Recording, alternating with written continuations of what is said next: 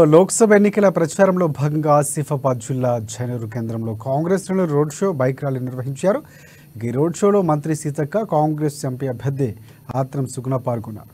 ఎన్నికల్లో ఉద్యమ నాయకురాలు అలాగే ఆదివాసీ బిడ్డ ఆత్రం సుగుణను గెలిపించి పార్లమెంటుకు పంపిస్తే ప్రజల సమస్యలపై గలమెత్తుతుందని సీతక్క తెలిపారు. సుగుణ ఉపాధ్యాయురాలుగా పనిచేస్తున్నప్పుడు ఆమెపై అప్పటి బీఆర్ఎస్ ప్రభుత్వం ఎన్నో కేకలు పెట్టిందని కేసులు పెట్టిందని గుర్తు చేశారు.